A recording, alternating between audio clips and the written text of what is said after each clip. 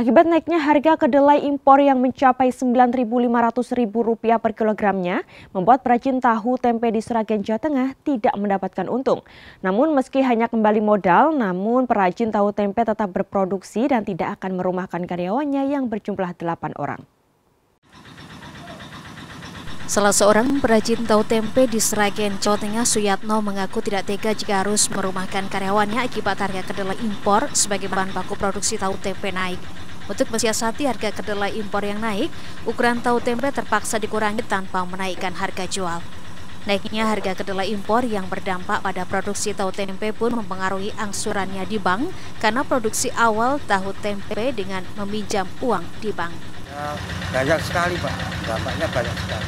Contohnya Pak? Contohnya itu harga dulu cuma 7.000 6.700 sekarang 9.500 tinggi sekali Pak. Tahu dinaikkan nggak bisa jadi cuma mengecilkan.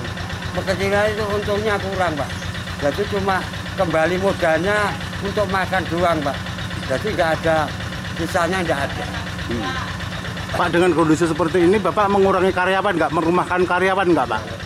Ya, enggak Pak. Sekali saya kasihan sama karyawan.